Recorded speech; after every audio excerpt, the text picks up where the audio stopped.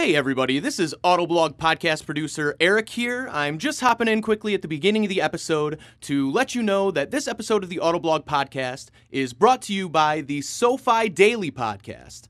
Reaching financial independence starts with having the right information. So every weekday morning, SoFi keeps you up to date with important business news and stock market happenings and how they affect your financial life. So get your money right and search for SoFi. That's S O F I wherever you get your podcasts. On with the show.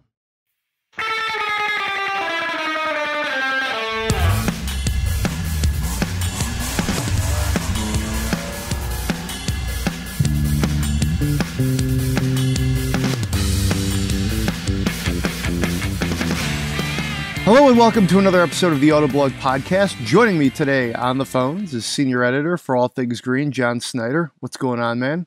Hey, how's it going? It's going well. It's going well. And Mr. F 150 for the day, associate editor Byron Hurd. How's it going? It's it's a very truck day. I'm uh I'm buried in trucks. All right, sounds good. Um, lots of big news. Obviously, if you're listening to this Thursday night, you saw the Ford F 150 was revealed. We're going to break that down for you in its entirety. Uh, there's a lot to unpack there. Um, some electrification news, which I think is kind of cool. And, uh, you know, again, like I said, there's a lot to unpack. Check out our site. We've got a lot of stories. Um, it's going to be interesting. It's been the best selling truck, best selling vehicle in the United States since the late 1970s. So I think one or two people are going to want to hear all about this. Uh, but if you don't, uh, we do talk about some other things. Byron spent some time in the Cadillac CT4 uh, V, which is kind of neat. I drove the Toyota Prius, which was pretty eh, okay. And John has spent some time in a 1960s microbus, which mm-hmm. just arrived uh, this week, and that's that's pretty awesome. And then don't ever spend your money, but we do have a quick trivia section to close things out. We have a great show for you, but let's jump right in. Ford F 150. Byron, just real quick, break it down like 30 seconds. What do you need to know about this truck right now? All right, so Ford's calling this all new, and uh, it pretty much is. There's differences down to the frame length and track widths and everything like that. So it is a new truck. There's lots of new tech. There's a hybrid for the first time, and uh, the hybrid is going to have more horsepower and more torque than any other half ton in the segment. And so that means it's going to have more horsepower than the 6.2 liter Silverado, which makes 420, and it should have more torque than the uh, EcoDiesel Ram, which makes 480 pound feet. So those are your benchmarks for what Ford is claiming they're going to do with this. Um, the uh, new bed setup is pretty swank. There's some cool options, especially on the hybrid, for plugging in lots of tools. So if you work your uh, truck on a job site and stuff like that, uh, it's great for that. Can also be used to recharge things like uh, electric off-road bikes or 4x4s, anything, any kind of toys, any kind of tools that you want to juice up while you're on the go. It'll have the capability to do that. And some nice interior upgrades, including Sync 4 and a new workspace in the center console, which actually folds down the gear selector so you can make yourself a little table. Uh, lots of great stuff. It looks like it's going to be a very interesting truck, both from an innovation perspective and from an individual productivity perspective. Nice. What's interesting to me is they are, in fact, calling this an all new generation. And certainly an all new generation of F 150 is a big deal because it doesn't happen very often. Trucks tend to have a very long life. And then sometimes automakers tend to kind of, uh, you know, play around the edges a little bit. It's like they'll call it a new generation, but it isn't exactly. But this this sounds legit. You know, you're talking about different dimensions and then a lot of additional features, tech, things that make this um, new, better, different, and sounds like more competitive. So yeah, cur- it looks. Go ahead, Byron. I'll let John take it. Actually. Well, I was just going to say, I, it's really interesting just how many, how feature rich uh, this truck is becoming. Uh, trucks have, you know, uh, the the big three have been making these trucks with more and more just stuff in them uh, over time, and this um, this one is heavily tilted toward um, a work uh, truck. I mean, there's a lot the, the workspaces, the plugs. Uh, I'm just curious how, how pricey this is going to get uh, when you start adding those things on. But um, you know, trucks can get pretty crazy when you start adding on all the different features and checking boxes. Um, and and that's one thing about trucks is they're sort of becoming less and less attainable. Um, so I'm I'm going to be curious to see how this all uh, measures out with in terms of pricing. But it's just interesting to see just uh, you know that that fold down uh, gear selector with the little table that pops out is is really really interesting. Um, and then some of the other you know work features, the the plugs, and then there's some stuff going on with the tailgate too. Uh, it's, it's, really interesting what they're doing with it. So one of the reasons we have John on this podcast is we knew there would be a form of electrification for the F one fifty. Uh, Byron, why don't you just tell us what we know about this? Then John, you jump in and tell me your take. Is this what's this going to do for the F 150's green credentials? Go ahead, Byron.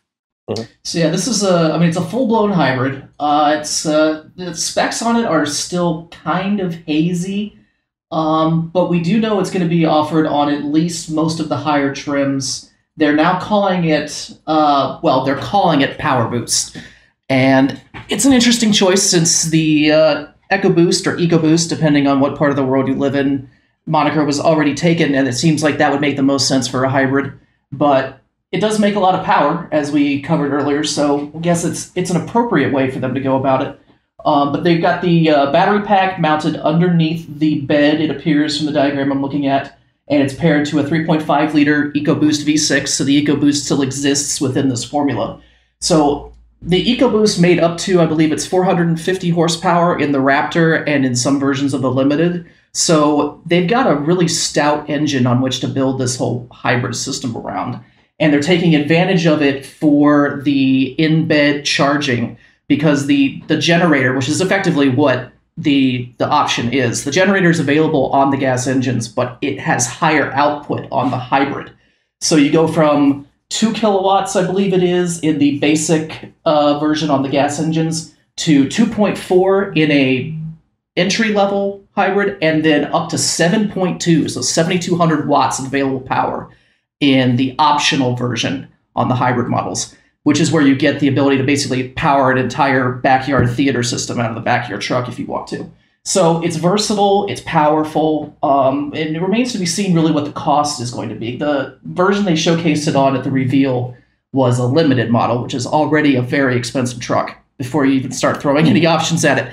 So I imagine that limited plus power boost plus the optional upgraded generator to make everything you can come out of that hybrid system is going to be astronomically expensive, might be the words we want for it, but it still seems pretty compelling and interesting, especially since this is the first time someone's done a really fully fleshed out hybrid half ton pickup.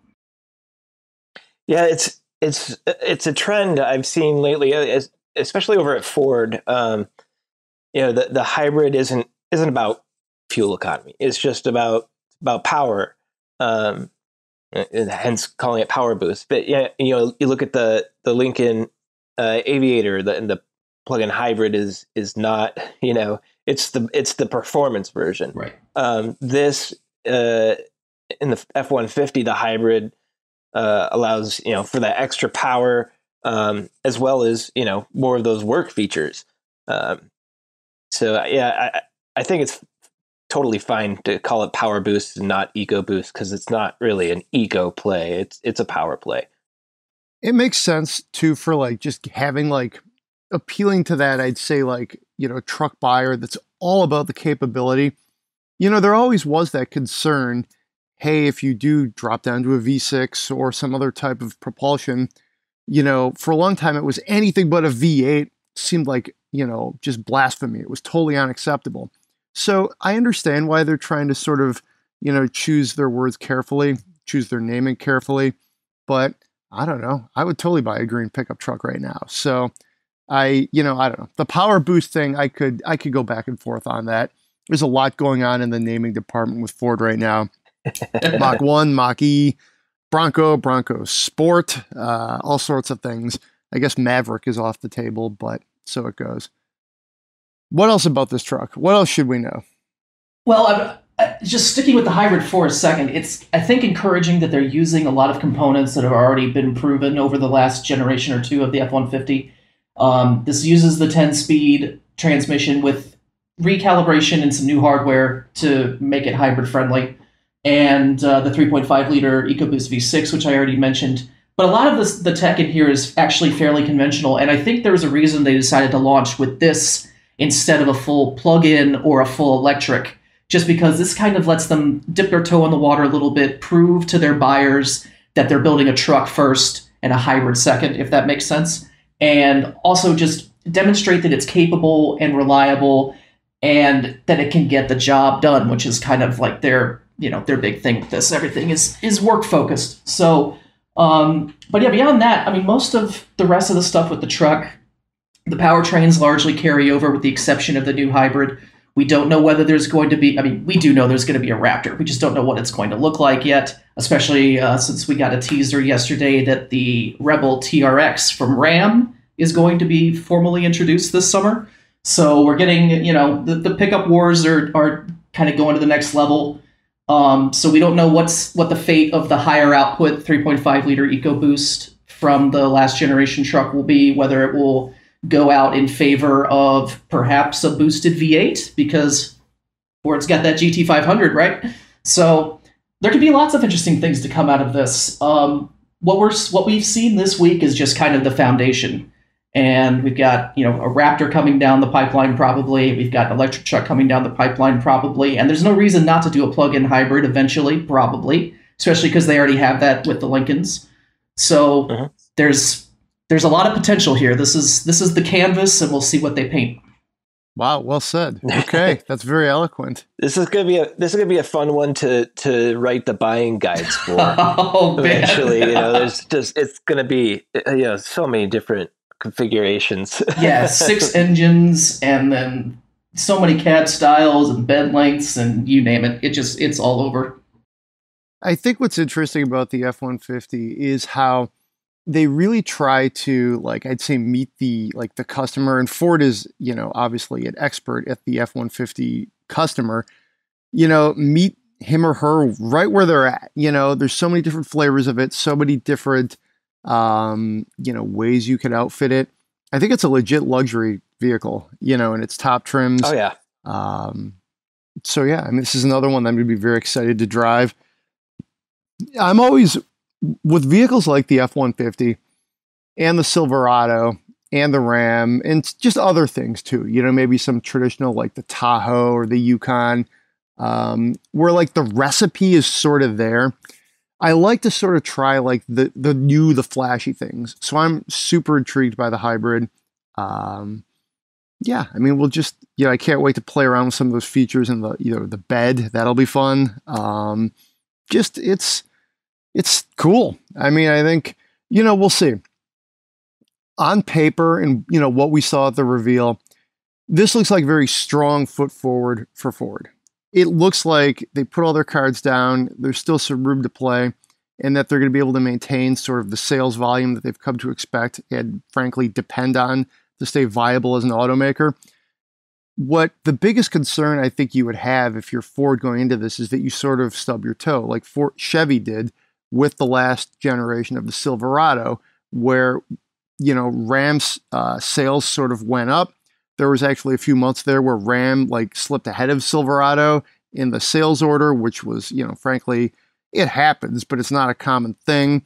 And I think what a lot of people thought, especially truck enthusiasts, was that the Ram was demonstrably better than the Silverado. When they did that update, the interior wasn't quite where it needed to be the you know there was nothing really compelling about the powertrains the exterior was polarizing. A lot of us saw it and i kind of liked it but i a lot of people didn't.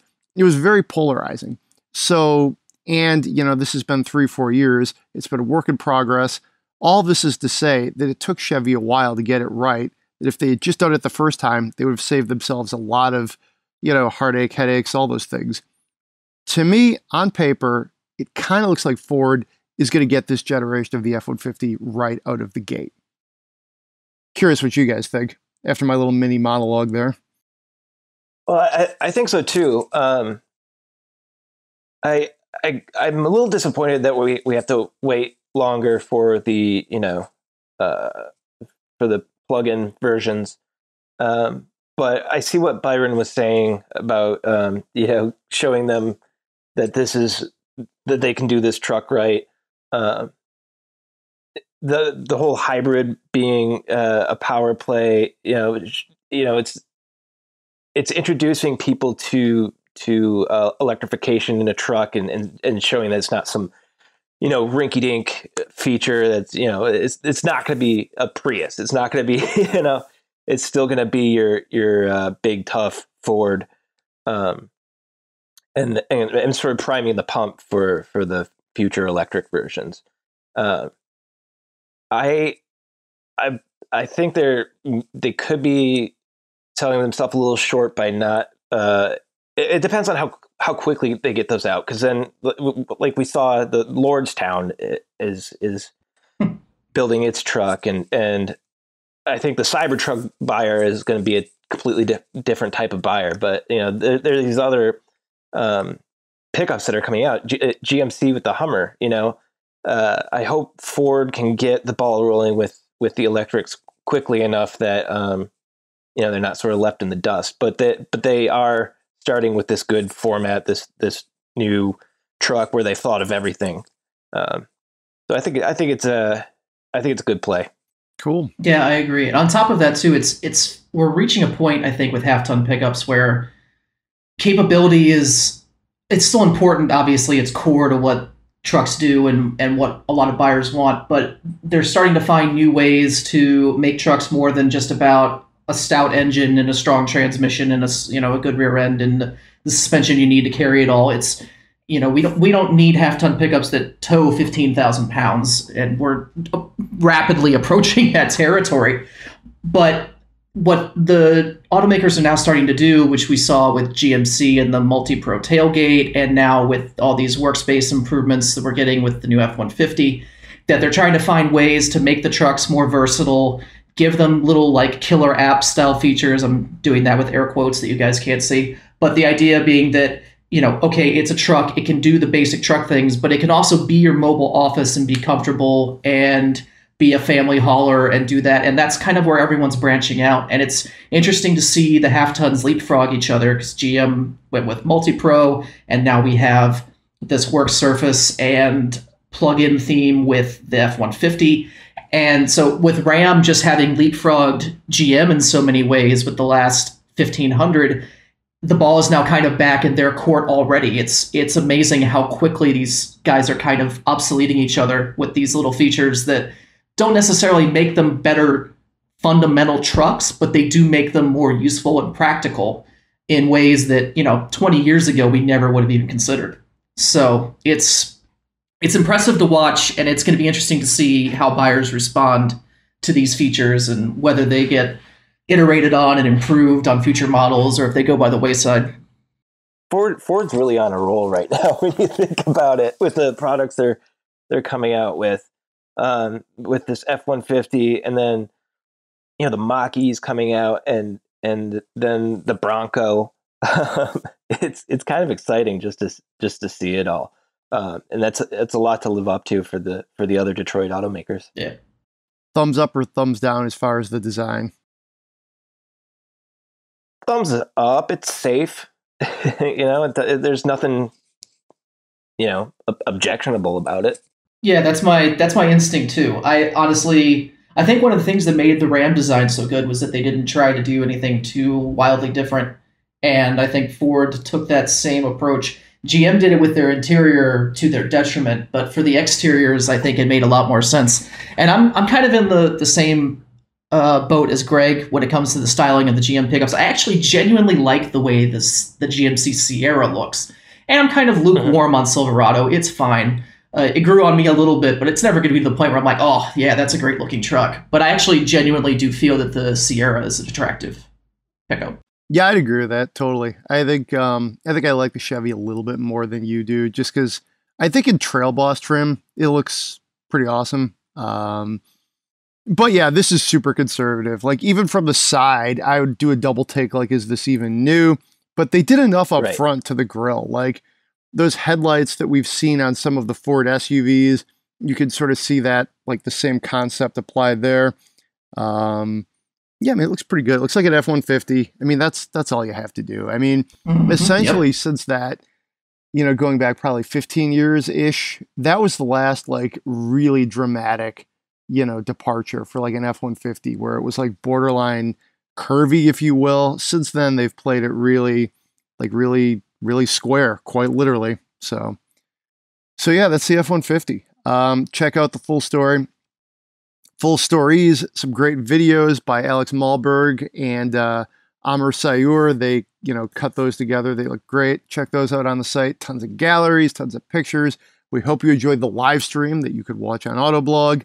Um, and that's still up there if you want to go back. If you're listening to this on Saturday, maybe you're out walking the dog in the park like I often do, and you hear some stuff. You're like, oh, hey, I didn't get back. I got to check that out. I got to read more on that. So please do. Uh, but let's move along to some of the cars we've been actually driving. Uh, this is a Byron heavy uh, show here. You spent some time in the Cadillac CT4V. This was maybe three weeks ago ish. Tell me what this car is like. And another thing, and I mean, frankly, I'm the editor of a car website and I mix up Cadillac's lineup. Why don't you just tell everybody out there what the heck a CT4 is? and where it fits, and then what the V actually means right now. Sure. So CT4 is going up against the Audi A3, the uh, BMW 228i Gran Coupe, well, the whole the whole two series Gran Coupe lineup, um, and the uh, Mercedes A Class. The idea is to have this this small sedan that kind of slots in where compact sedans used to be. We're calling them subcompact, even though that's probably pushing the definition a bit but that's the the space in which it plays. And the V models now are the mid grade performance models. So the idea is that you're stepping up from the base engine to a more powerful one. Uh, you're getting some other performance upgrades and things like that. So think Audi S3, BMW M235i, and the Mercedes uh, AMG variants. They have a 35 and a 45, I believe. So this would be geared more toward the 35. So the idea with this is you get a mechanical limited slip differential. You get performance dampers with the uh, MagneRide fourth generation magnetic ride control, and some other little bits and pieces like that. You get a little extra power. It's like 10 or 15 horsepower more than you get on the premium luxury variant. But it's supposed to be sporty enough to feel fun for a small luxury car without being a full blown performance model. And V used to be full blown performance Yeah. in many ways, literally blown because they were supercharged. Like that was the idea. It was just like big honking horsepower numbers in competent chassis. I mean, they, GM's been making great rear-wheel drive platforms for a while now. We shouldn't discount that. That the fact that this new one is very good isn't actually all that new. Um, but the uh, the new range topping cars will be called Blackwing, which of course shares a name with a now stillborn turbocharged V8 that GM produced for the CT6V that was supposed to go on to be featured in other models and it's now discontinued, but at least the name is going to live on. And those are going to be the ones that have the biggest engines possible, the most performance possible. They're going to be the ones running around the Nürburgring and all that kind of stuff and probably setting lap records and everything that GM loves to do. And I believe the the current theory, which I don't think it's actually been confirmed by GM, but the idea is that the CT4V Blackwing model will have a six cylinder in it, which the CT4V does not. It has the large 2.7 liter four that's also in the GM trucks. And that's a great engine. It's torquey, it's powerful, it, it feels great to drive, uh, it does the job, but I'm interested to see what they do with that twin turbo six. So the uh, the CT4V though, I, I came away very impressed. You get a little more car for the money than you do from the Germans.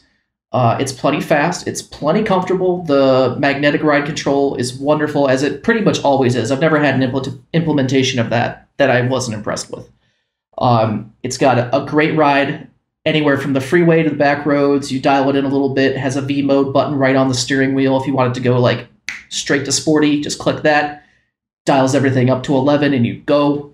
Uh, it's a really impressive little car. It's it's one of the few GM models, and especially one of the few Cadillac models that I have driven lately, where when I say something like "it's a great little car," I don't have to say but and then add some sort of caveat to the end of it. It's it's just a great little car. I had a I had a blast driving it. It was very comfortable. All the tech worked. Fit and finish was great. The interior actually genuinely impressed me, which is something again I haven't said about many Cadillacs lately. Uh, I was pretty much blown away by that little car. Was I was very impressed. I actually really enjoy how the just sort of this new generation of Cadillacs looks. I think it harks back a little bit to the almost like the 60s right after Cadillac got out of the like the really, you know, over the top like 50s and they created stuff that was still good looking, still stylish, but a little more toned down. And when I look at the CT4, the CT4V, that's what I see. I sort of like, you know, I mean, frankly, in general, I like 60s cars more than 50s cars. Um, but I think, you know, I just, I feel like that sort of, you know, understated elegance, but performance is, is really showing up in Cadillacs. So yeah, I mean, just, I didn't drive this car, but, you know, looking at the pictures, it looks great.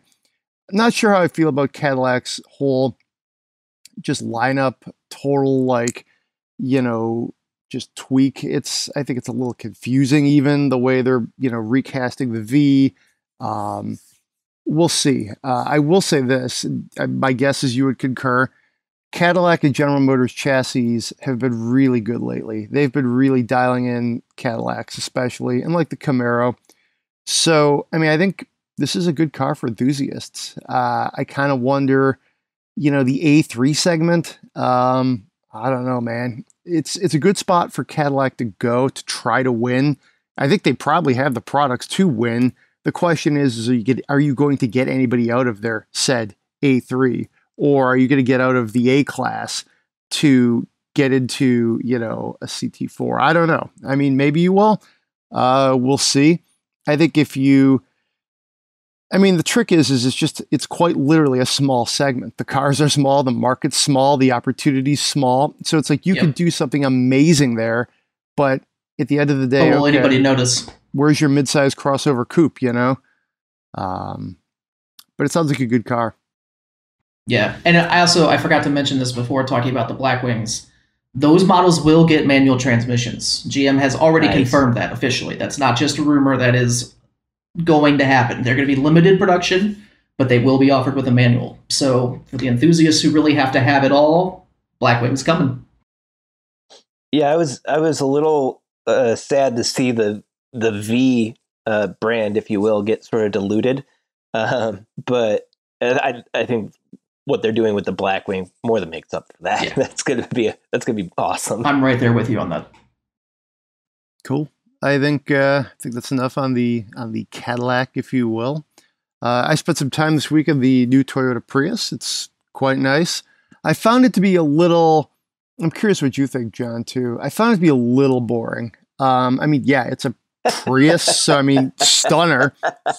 Go figure. but um, you know, I don't know. I think they took a risk with the design. They kind of took it away from the, you know, the very like, you know, um, I don't know, beige-ish sort of look of the you know the previous Prius and made it look a little bit more like a, you know, a little more cartoonish even. You know, there's a lot of creases. If you look hard, the back end mm-hmm. almost looks like it has fins. If you really want to see that, speaking of things from the 50s, um, you know, there's a little bit of you know the hybrid stuff. I think makes it fun to drive in a little bit of a sense, you know, because there's a little bit of that electric boost under some circumstances. Oh, for sure. Yeah. Um, yeah, I don't know. It's it was fine. It was a Prius. I got some takeout in it. Uh, they dropped it right in the back of the hatch. So hey, I mean that's kind of the way we live right now. I mean, I don't know. It was the Prius. I feel like you got to sort of turn it into a game to make it entertaining. Um, and they they do, you know, Prius has always had sort of gamification techniques. Like it used to have the little leaves that would grow the the more efficiently you drove. But um, I think that that's kind of how you have to approach it to have fun with it, and it, it can be fun. You know, just trying to get the ultimate mileage out of it that you can. Um, yeah, I I like the Prius. Uh, it's it's not the most exciting car in the world, but it's it's popular for a reason. It's I, I feel like well built. Um, the mileage is really excellent. Um, and they've been making it for a long time and they they know what their customers want and they keep delivering that. Um, I would like to see uh, a big, at least visual redesign, um, but probably not going to not going to get that anytime soon. I don't think the looks of this current Prius, I think, are a little far. Yeah, out. it's hard. It, it's hard to look at. um, yeah, I I've never been a big fan of of the way it looks, um, but I mean, I, I can kind of look past that just because it's it's really good at, at what it what it does, being an efficient, affordable hybrid. In the numbers you mentioned earlier, just to be specific here, 48 highway, 52 city, 50 combined. I mean, that's outstanding. This car costs just Yeah. under 32 grand. Um, I mean, that's that's like real world stuff that makes your life better, if you will. Um, Yeah, and now now they have the the all wheel drive version too. It's it's um you know something for for everyone. I you know I I know lots of people who you know just won't buy anything that doesn't have all wheel drive. Um, it just I don't know. I, I tell them snow tires are fine, but but it's it's a mindset and and it, it it's it adds confidence. Just the seeing that all wheel drive badge on the back gives gives people a little more confidence in their vehicle. Um, and I, I drove this thing in this in the snow, and it was actually pretty great in the snow. It it handled the snow remarkably well. Um, pretty deep stuff. It just sort of pushed its way right through it, and you know, it was it was pretty stable going through corners. Not a lot of slippage, not a lot of understeer. So I, it was it did what it's supposed to, and and I think that's why why people like it in general. It just it works as advertised. yeah, the one I tested was XLE all wheel drive E hybrid. Uh, Yeah. So, yeah, I mean, I would probably get the hybrid, uh, excuse me, the all wheel drive, you know, just if I Yeah. were, you know, where we all live, it's, it's cold and snowy. And I mean, it's, I think, an assurance. And, you know, I know you mentioned it's pretty capable there, John. One thing I find interesting, though, is a car this like small and low, like, you know, you're, you're going to have some trouble getting through some snow if, you know, you encounter it. Like, there's not really any ground clearance. So, yeah, um, you know, it is what it is. But yeah, I think um, it's the Prius. Like, I drove it and I was like, I was actually really excited to drive it because I have not driven um, the Prius in quite some time. And I feel like as an automotive Mhm. journalist, you got to get into some of these, like, you know, major cars. Um, so yeah. Um, It's smooth. It's comfortable. It's quiet. Um, it's it's serene. Um, you know, if you're not looking for excitement, it's a it's a really nice really nice car to drive. Cool. Cool. Well, I think that's we'll leave the Prius there. I think we've uh it's about as much as anybody needs to know. Uh yeah, I mean pizza fit back there very well though when I got that on Friday. much better than when I put it in the back of a Land Cruiser with those touchy brakes and um Oh yeah. you know Oh, yeah, it was actually surprisingly fine, but I don't know how. Um, the Prius, hey, it's just a little smaller of a space, fits pretty well. So let's move on to a far more interesting car, a 1967 VW microbus. Yeah. yeah, they dropped it off in my driveway today. It's it's beautiful. It's the it's the 21 window Samba. Um, so it's it's long. It's got a bunch of weird little quirks to it. Um, it's this beautiful uh, white on orange, um, and it's just a wonderful, wonderful vehicle. I I drove it around a little bit. Um, I'm gonna take it out for a, a longer drive tonight and get some photos of it. But um, it's you know it's not fast at all. I think uh, it's a one one point five liter, uh, making a whopping uh, fifty four horsepower, I believe. Uh, so, uh, but it's it's just fun. It is it's you know it's beautiful inside and out. Uh, just really interesting design. Um, I love the the, the windshield. It's like that split windshield. Um, I think '67 was the last year that they had the split uh, two piece windshield, but the the windshield pieces uh, prop up. You can open them and uh, get the air in your face, which is good because this thing doesn't have AC. It has this little lip over over the top of the windshield with some vents under it, like it's sort of a, a roof scoop sort of thing that that fill, p- pushes air into the cabin, and you there's a little flange where you can direct it, you know, onto yourself or back toward the the passengers in the rear. Um, a lot of little quirks about it. It's got this uh, big sunroof that opens up, but I'm not. I don't think I'm going to touch that because I don't want to break it. um, but the car, you know, I was warned is is not watertight. oh boy, uh, which is fine because we have good weather right now. But um, you know, little four speed, got a reverse. It's really really tricky to find, um, and it, it it turns heads around the neighborhood too. It's just it, it's beautiful. It's in really nice condition. Uh, and these these air cooled VWs are just a joy.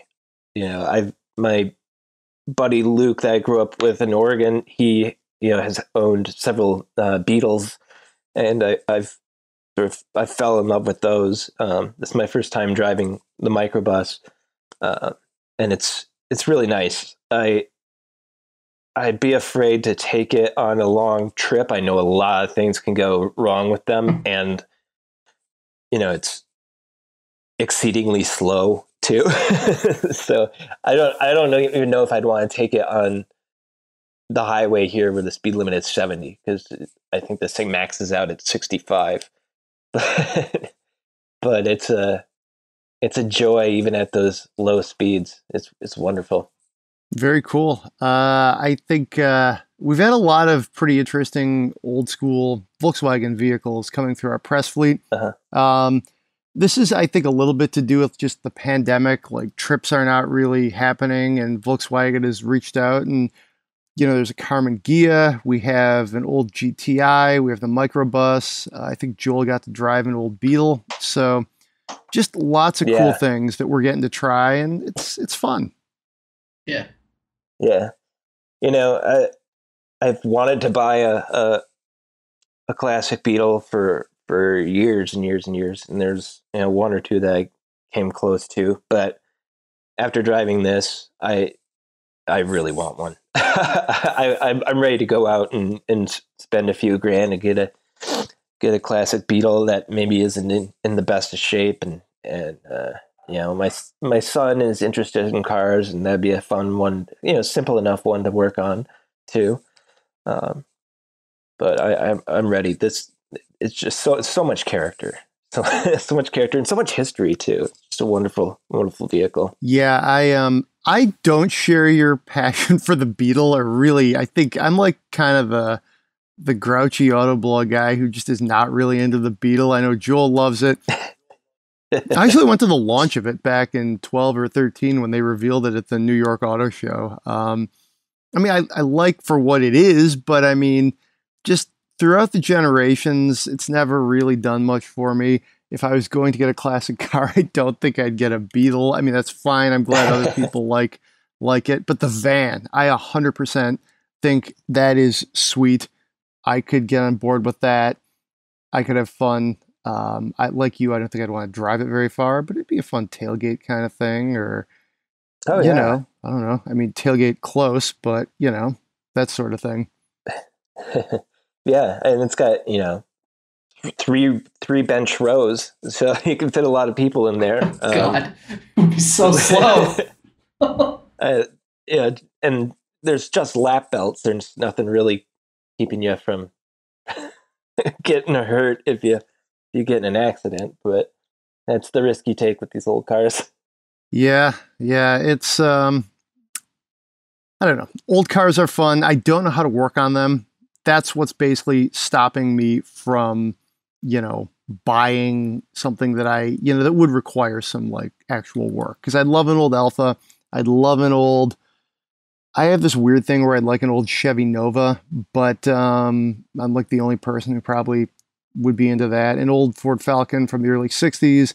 But again, if you can't Oh, do the work, what do you you know what are you gonna do? You know, you're just gonna basically have this monument in your garage that's not really doing anything. And I actually have several of those cars right now in my life that I need to dispose of, uh, including my personal car, and 06 Charger, and my parents still have a 73 Chevelle I need to unload. So, um, and the Charger's in okay shape. The Chevelle is fine. It just, you know, it's it needs to be restored. And when you're in that kind of like gray area of what do you do with it, you know, it's Uh, tough. So I digress. Somehow Yeah. we went from 60s Volkswagen vans to 73 Chevelles. Should we do some trivia? Uh, Yeah. oh wow, that is. Um, I want to make that sigh like like my email notification, like like when somebody or when somebody slacks you, you get like Snyder like sighing and kind of lightly growling. Um, all right, so I came up with this segment. We tried it out about a month ago with uh, just a few trivia questions, and I tried it out with you two because you seemed like you know you guys have been around a little while. You know know a thing or two. You know a little bit about trivia, and then I just haven't had a chance to do it again. And lo and behold, Mhm. who's on the podcast? Let's do some trivia again. And um, all right. you guys are like, yeah, could you do this when anybody else is on the show but me? But it's all right. I just I, I my my brain works in weird ways, but All right. Well, sometimes I sometimes I get them. Every once in a Okay. while, uh, I can get a trivia question. all right, well, this is fairly easy, um, I think. So let's let's give it a go. All right, and also uh, one thing the um, like podcast listeners told us last time is try not to spend too much time thinking about it. So it's all right, think about it. You But either know it or you don't. yeah, Spit it apparently the awkward pauses were not well received. I mean, so it goes. I don't know. All right. Keep it simple. What British car company was featured over a couple of seasons in the 1960s AMC drama Mad Men? Byron. Oh, I haven't seen it. Uh, Byron, have you? yeah, that uh, that should be Jaguar, I believe. I have Alright. seen that. That's a win for Byron, and John just punts. So there we go. Score is one, one to nothing. All right. Now this is actually multiple answers are acceptable here. How did Chevy's Okay. bow tie originate? We'll start with Oh. you, John. Ooh, I I honestly don't know. I feel like I've heard the story b- before, but but uh, uh, if there's an answer, if there's a correct answer, I don't recall it. And I I I, I, re- I remember hearing about it at one point, and, but I've forgotten. No, I think the only GM logo story that I know well was the whole you can't sell an American flag on a car, and so the Corvette ended up with the other stuff instead. Um, that's the that's the only GM story I can think of off the top of my head for for logos and badges. We'll keep it simple. Billy Durant is said to have seen it on wallpaper in a Paris hotel in 1908. That's sort of like the official answer, but even Huh. even GM sort of admits that may or may not be true. Okay. So, and they have multiple alternate theories. Um, maybe when we post this, put this in the podcast post. I know everybody's probably listening to this on your phone, but if you care that much, check out over to Autoblog and we'll post these questions with the answers. And there's a link to this press site. And it's funny because normally car companies are very like, this is the press release. This is the statement. This one's like, ah, Yeah. well, we think it could have been this. It was probably this Paris hotel room story, but it also is like, you know, these other things that it could be. So uh, I guess we'll keep the score at one nothing Byron, uh, which technically gives John a chance to pull into a tie here on question number three. The Buick All right. Riviera was originally supposed to be what? I'm looking for a brand here. Uh, a brand? Yeah. Buick Riviera. Yeah, think about GM in the 60s. This car was designed and it wasn't actually supposed to be a Buick, if that makes sense. Think GM and all the brands they had back then. What was it Uh, actually supposed to be or could have been? I'm not sure it was supposed to be, but could have been. Pontiac. Good guess, Byron. Uh, I'm gonna say Oldsmobile just because it's not one of those. You're both wrong. Cadillac. Oh, Ah, okay. that was my first. if you look at instinct. it, it almost looks like a 60s Cadillac, especially the earlier ones, just the way the headlight and the grill kind of stack Okay. up. Um, yeah, it's okay. Ah, I was thinking. I was thinking that until you started reminding me that there was, you know, all those other those other brands back then, and then I was like, I have to go with one of the orphan brands. Those are good questions, Greg. I really like. I really like this. we're just gonna do three this time. Last time we did five. We got a little, you know, just a little little, in the weeds. little in the weeds. Yeah, it got a little whatever, but no, these these were great que- great questions. This I time. yeah, this will- was good. I will call up this Wikipedia page here, but I've heard this before. Believe me, I don't just do this all on Wikipedia. But apparently, this was like an experimental design, and this is straight from Wikipedia at this point, called the EXP seven one five, and it was going to be called a LaSalle or something. Um, yeah, apparently Cadillac. This goes to like, and this is more like general history. I have heard this.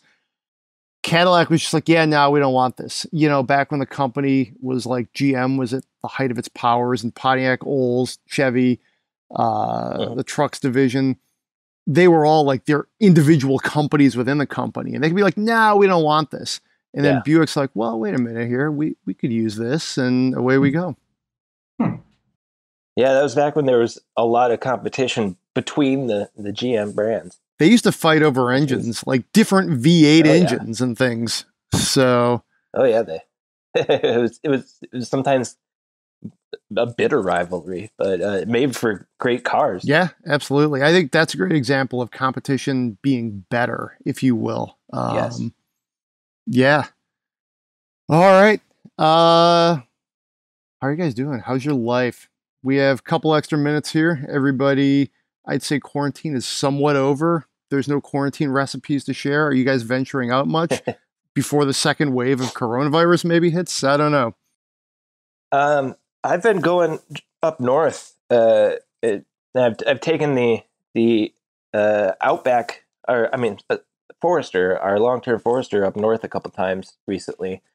Um, but it's it's just really nice to to go up to the to the lake. Um, oh man, like my my almost five year old son was was going crazy. I feel like during during quarantine and then you know he misses people but when he's up there you know the he he sees you know the neighbors he knows and stuff and um you know just plays in the water and uh, everyone's mood and behavior just gets way better instantly um but i've i've been really enjoying that those long drives because uh you know I, I i used to commute into the office every day and and uh, yeah, that that drive time was you know time for checking out the cars and time for reflection, um, and, and I get to do that on that drive. And plus, I got I got to uh,